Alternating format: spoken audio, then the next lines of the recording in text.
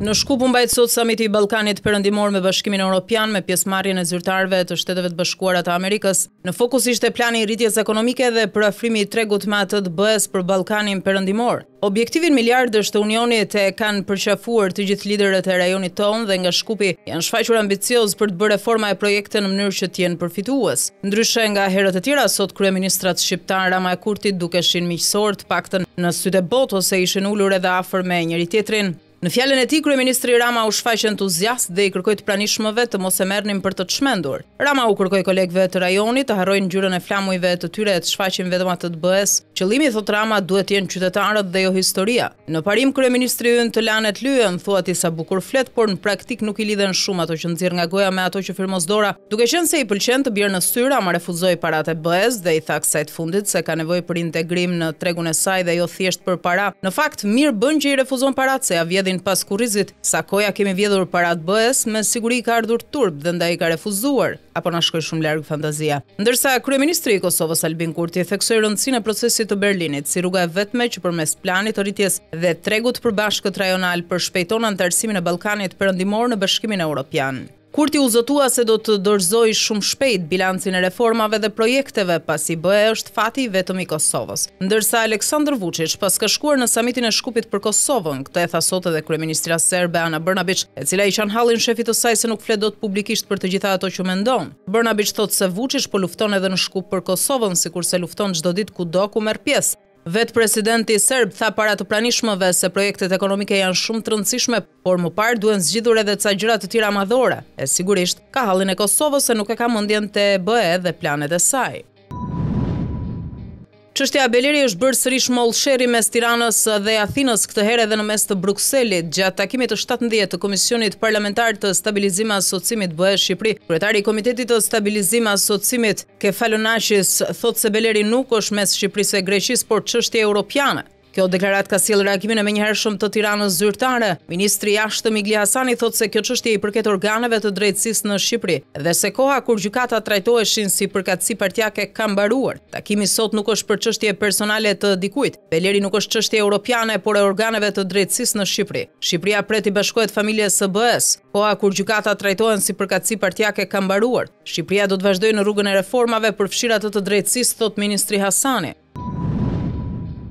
Kryeparlamentarja Lindita Nikolla priti sot në takim ambasadorin e Bashkimit Europian në Tiranë, Silvio Gonzato, në ambientet e kryesisë së Kuvendit. Nikolla i garantoi se Kuvendi po punon për të lehtësuar dhe forcuar dialogun politik mes palëve. Nikolla dhe ambasadori Gonzato diskutuan mbi arritjet dhe sfidat e integrimit europian të Shqipërisë pas përfundimit të procesit screening. Kuvendi po punon për lehtësimin dhe forcimin e dialogut politik mes palëve, për të përballuar bashkërisht sfidat e integrimit europian, të aspekteve politike e teknike të procesit të negociatave. Bashkëpunimi mes grupeve parlamentare në Kuvend do të lehtësojë edhe avancimin dhe thellimin e reformave, modernizimin e procesit të ligjbërjes dhe rritjen e transparencës së veprimtarive parlamentare, u shpreh Nikolla. Ambasadori Gonzato vlerësoi ecurinë shumë të mirë të procesit screening dhe performancën e lartë të institucioneve shqiptare në bashkëpunimin me institucionet e BE-së. Kryetarja Nikolla dhe ambasadori Gonzato diskutuan edhe për bashkëpunimin e Kuvendit me Parlamentin Europian dhe institucionet e BE-së për modernizimin e shërbimeve parlamentare për të përballuar më mirë sfidat e Kuvendit për thellimin e reformave dhe procesin e integrimit europian.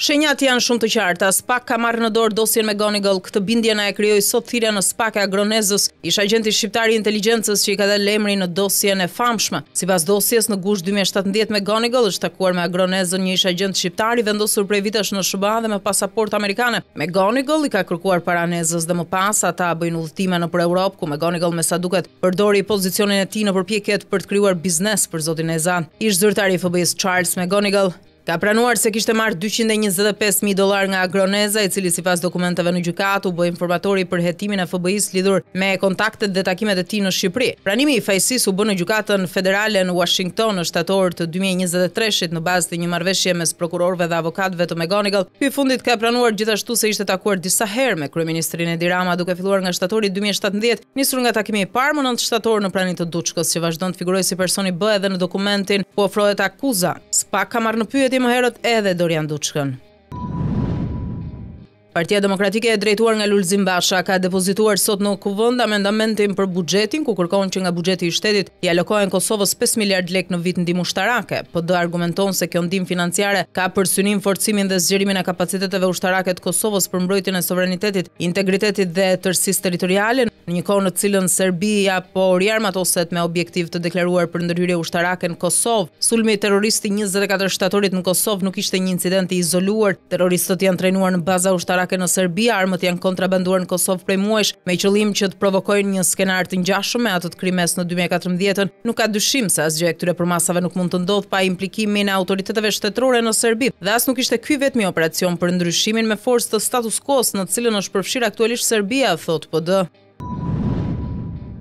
Në informacionin që ka siguruar pamfleti thuhet se në kompjuterin e Ilir Beqajt, Byroja Kombëtare e Hetimit ka gjetur bilance të Restorant Gzona të kompanisë Intek Plus, projekte, akt themelimi, preventiv dhe bilance e kontrata tregu të fermave Ajko dhe Agro Isaku në Finiq. Janë gjetur leje zhvillimi e ndërtimi dhënë nga qeveria firmës Gjozeza SHPK dhe Gemplane, plan rilevimi toke, projekte preventiv investimi, situacion materialesh ndërtimi dhe kontratë financimi punimesh për hotelin që Ilir Beqja po ndërton buzë detit pranë portit të peshkimit në Sarandë. Maskuar pas firmës ndërtuese, Gjozeza SHPK, të njëjtat dokumente janë gjetur dhe te kompjuteri i bashkëshortes Adriana Beqaj, gjithashtu krejt dokumentet tatimore për aktivitetin e Restorant Gzona te Kalaja e Tiranës, për fermat Ajko e Agro Isaku në Finiq dhe të dhëna për kostot ndërtimore të hotelit në Sarandë. Në katër adresat elektronike me mesazhe inbox në Yahoo e Gmail. Të Ilir Beqjes, janë gjetur komunikime me mafiozin Janis Karathano për pazare tenderësh të shëndetësisë dhe PPP-në e laboratorëve kur Ilir Beqja ishte ministër, por edhe në vitet dy mijë e tetëmbëdhjetë dy mijë e njëzet e tre kur nuk ishte ministër. Janë gjetur oferta e plane biznesi të Vilma Nushit para se të merrte PPP-në e check-up për pazarin pas marrjes së kësaj PPP-je për të shtuar vlerën tridhjetë milionë euro duke ndryshuar moshën e kontrollit mjekësor për pagesat false nga FSDKSH dhe komunikimi pasi u thirrën në Spak, janë gjetur 17 komunikime me mesazhe inbox, Yahoo e Gmail në, në telefon me trafikantin Lefter Lamaj për tenderet e lavanderisë në spitale që janë dhënë firmës së tij Devis SHPK ku sipas antikrimit 50% ortakëri e ka Ilir Beqja i cili i ka dhënë afro 22 milion euro tender. Kryeministri Edi Rama si beu i krejt pushtetit ka filluar të ndajë tepsinë. Ndarje të cilën e ka vendosur para se të sajonte ministrinë për Blendi Gonxhen, kur ka menduar se çfarë do t'i heqë Ministrisë së Infrastrukturë Energjisë e Ministrisë së Ekonomi Financave për t'ia dhënë Ministrisë së Ekonomisë, Kulturës e Inovacionit. Prej disa ditësh një grup pune formal i Kryeministrisë i drejtuar nga Dona Gaçi, por me listë të paracaktuar nga Babloku, ka filluar të ndajë llokmat që do t'i hiqen Belinda Ballukut dhe Ervin Metes dhe do t'i jepen Blendi Gonxhes, Sipas informacionit që ka siguruar Pamfleti, ministrit Ervin Mete do t'i hiqen dhjetë drejtori qendrore të sektorit të ekonomisë, shtatëmbëdhjetë drejtori shërbimesh, ku qeveria ka njëqind për qind pronësi, njëzet e një kompanitë publike, ku qeveria ka mbi tridhjetë për qind pronësi, edhe disa agjenci që kanë të ardhurat dhe licencat. Ndër më kryesoret janë Drejtoria e Lojërave të Fatit, Drejtoria e Prokurimeve, Kontratave e PPP-ve. Drejtoria e Pronave, Drejtoria e Pasurive të Konfiskuara, Drejtoria e Investimeve, Drejtoria e Licencave Kombëtare, Drejtoria e Biznes e Tregtisë, Drejtoria e Strehimit dhe Qendra e Regjistrimit të Aksioneve, të cilat janë pjesë qendrore e tepsisë së pushtetit, me krijimin e Ministrisë së Ekonomi, Kulturë, Inovacion, për Blendi Gonxhen, usta korrupsioni dhe mik i vjetër e sekser ekselent i Bablokut, Balluku e di që do t'i hiqen shumë sektorë me bereqet, Përveç këtyre, Blendi Gonxha i ka kërkuar Bablokut që Drejtoria e Shërbimeve të Transportit Rrugor të ndahet në dy pjesë, ku ministria e tij, ku ministria e tij të marrë patentat, kolaudimin e automjeteve dhe licencat e transportit ndërkombëtar të udhëtarëve e mallrave, ndërsa Ballukut i lihet sektori i targave regjistrim çregjistrimi i automjeteve dhe transporti brenda vendit.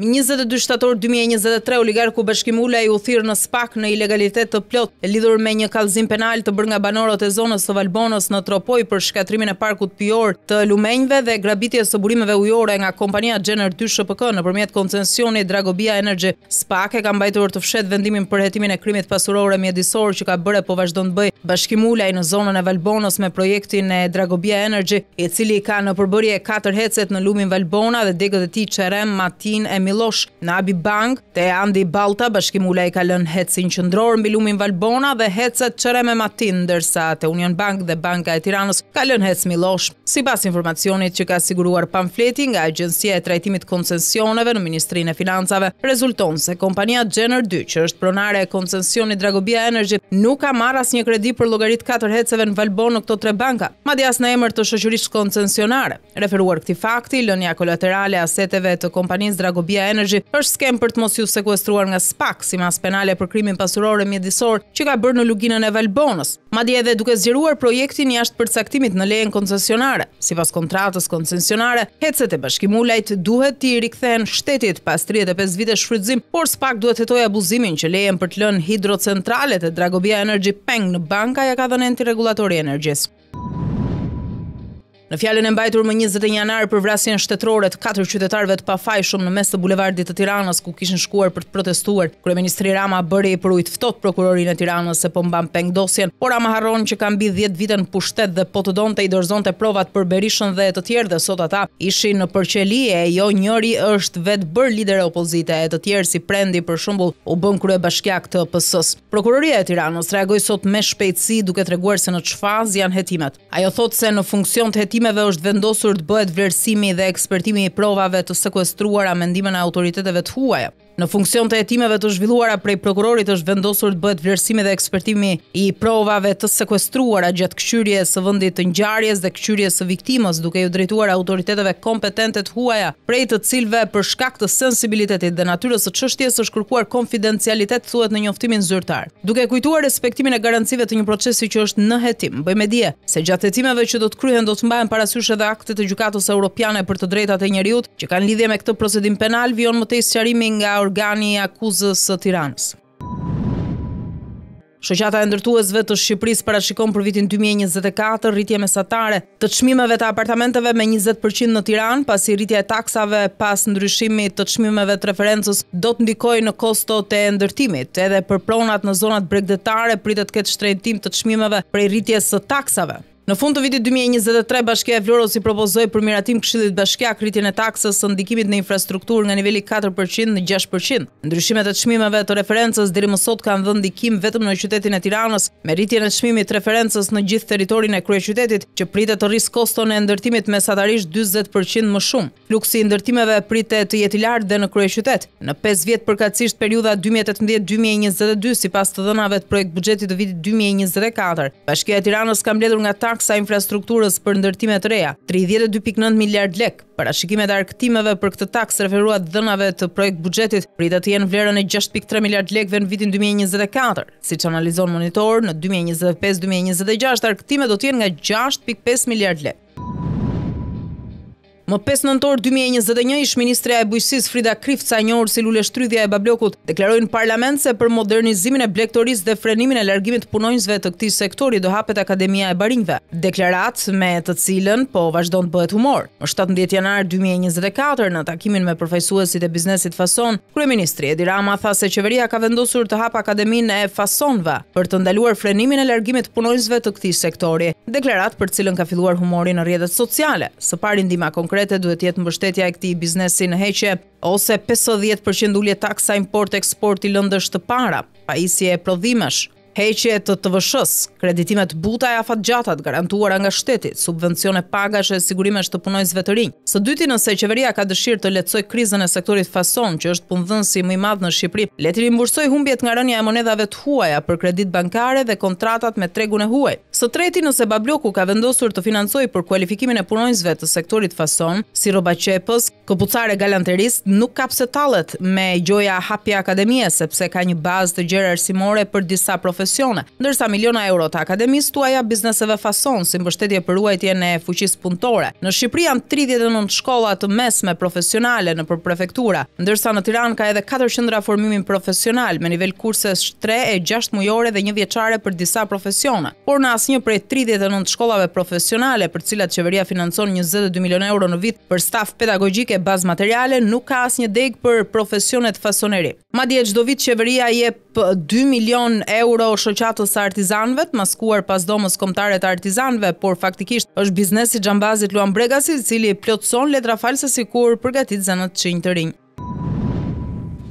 Kur themi ne që në këtë vend vetëm Zoti të ruan, ja për këto lloj ngjarjesh e kemi fjalën. Sot dy kalimtarë të pafajshëm ndodhen në spital sepse u plagosën teksa ecnin. Skela e një kompanie ndërtimi ra mbi kokë, ngjarja e rëndë ka ndodhur te zona e quajtur ish parku i autobusëve në Tiranë, ku babë e bijë shtatëdhjetë dhe dyzet e pesë vjeç u plagosën duke kaluar rrugën pasi skela u rrëzua gjatë punimeve të pallatit dhe u ra mbi krye. Policia thotë se të plagosurit janë në spital, ku shtatëdhjetë vjeçari është në gjendje kritike për jetën ndërsa e bija jashtë rrezikut. Blutë bëjnë me dije se janë ndaluar tre shtetas, inxhinieri dhe dy punëtorë të pallatit, për zbardhjen e ngjarjes. Policia ka goditur disa rrjete të shpërndarjes së lëndëve narkotike në të gjithë vendin në një operacion rang kombëtar. Qindra të arrestuar në Tiranë, Elbasan, Durrës, Shkodër, Dibër, Gjirokastër e të gjitha DVP-të e tjera të vendit. Bëhet me dije se në kuadër të këtij operacioni në Tiranë janë lëshuar tetëdhjetë urdhërarreste, ndërsa në qytetin e Vlorës janë arrestuar tridhjetë e pesë persona. Po ashtu janë sekuestruar edhe doza kokaine gati për shitje, por ende nuk bëhet me dije sasia. Ajo që vihet re është fakti se të arrestuarit kanë një grupmoshë relativisht të re, ku dominon ajo nga njëzet deri tridhjetë e pesë vjeç. Për këtë operacion foli sot vetë kryepolici Muhamet Rrumbullaku. Ky i fundit bën me dije se aksioni i koduar Tempulli dy ka goditur anëtarët e shtatë grupeve kriminale që merren me shpërndarjen e drogave afër shkollave dhe jo vetëm dhe janë vënë në pranga ekzaktësisht dyqind e shtatëdhjetë e tre persona. Në bashkëpunim me Prokurorinë e Përgjithshme janë iniciuar gjashtëdhjetë e gjashtë hetime proaktive. Janë marrë dyqind e nëntëdhjetë e pesë urdhra ndalimi dhe vendime arresti. Faza e dytë e operacionit nuk lidhet vetëm me shkollat, por ka në fokus kriminalitetin në të gjithë vendin. Fokusi ka qenë goditja e fenomenit të shpërndarjes së lëndëve narkotike. Në këtë operacion janë sekuestruar edhe prova që kanë të bëjnë me tërësinë e operacionit vijues Sundimi i ligjit, thotë kryepolici. Moti i ftohtë ka mbërthyer vendin prej dy ditësh tashmë e temperaturat negative pritet të na shoqërojnë edhe në ditët në vazhdim. Reshjet e dëborës kanë pushuar, por problematikat në disa zona të thella vazhdojnë. Autoriteti rrugor shqiptar bën me dije se pas pushimit të reshjeve të dëborës, qarkullimi në të gjitha akset nacionale po kryhet pa probleme. ARSH thotë se gjatë natës është punuar me shpërndarjen e kripës për të evituar ngricat pasi temperaturat kanë qenë të ulta. Reshjet që kanë ulur intensitetin duke i lënë vendin ngricave dhe temperaturave nën zero. Në qarkun e Dibrës në orët e para të mëngjesit termometri ka shënuar minus shtatë. Në qarkun e Korçës raportohet se trashësia mesatare e dëborës ka shkuar deri në pesëdhjetë centimetër. Në Krujë situata vijon të jetë problematike ku ditën e djeshme si pasojë e reshjeve të dendura të shiut lumi Ishëm doli nga shtrati duke përmbytur dhjetra hektarë tokë. Donald Trump i hapet rruga për garën presidenciale. Kandidati republikan Ron DeSantis, i cili dikur konsiderohej si personi me shanset më të mëdha për të mundur ish presidentin, zgjedh të mbështesë Donald Trump. DeSantis e dha lajmin dy ditë para zgjedhjeve paraprake në New Hampshire, ku sipas sondazheve ai kishte një përqindje të vogël mbështetjeje. Republikani dyzet e pesë vjeçar ishte parë gjerësisht si një pretendent kryesor për emërimin e Partisë Republikane për zgjedhjet e vitit dy mijë e njëzet e katër dhe pasues i Trump, falë pikëpamjeve thellësisht konservatore. Fituesi i garës për emërimin republikan do të përballet me presidentin Joe Biden, kandidatin demokrat në zgjedhjet e nëntorit. Referuar pjesës dërmuese të sondazheve, më shumë se shtatëdhjetë për qind e republikanëve mbështesin Trump, zoti DeSantis nuk arriti kurrë të bindte shumicën e përkrahësve të Trump se ai ishte një alternativë më e mirë, ndërsa republikanët që nuk mbështesin ish-presidentin i ndanë votat mes kandidatëve të tjerë. Zonja Haley, në veçanti, është shfaqur si kandidatja e preferuar mes republikanëve të moderuar.